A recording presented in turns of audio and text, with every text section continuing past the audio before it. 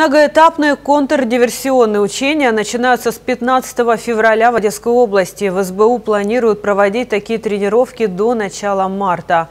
В ведомстве отмечают, целью учения является совершенствование межведомственного взаимодействия силовых структур и органов власти, проверка эффективности наработанных алгоритмов защиты объектов повышенной опасности и ключевых государственных зданий, стратегически важных объектов критической инфраструктуры, электроэнергетики и транспортной системы, военных баз, а также выявление обезвреживания условных диверсионных групп.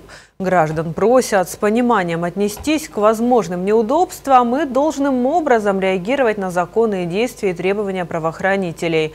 Также Бюро сообщает, что в этот период при себе нужно иметь документы, удостоверяющие личность, так как на отдельных территориях возможно временное ограничение в передвижении людей и транспорта, проверка документов и осмотр автомобилей. Также граждан просят проявить бдительность, если вы заподозрили человека, который слишком интересуется транспортной инфраструктурой, военными объектами, зданиями органов власти и управления, используя при этом средства видео и фото фотофиксация, а также беспилотные летательные аппараты, немедленно сообщайте об этом в Управлении СБУ в Одесской области.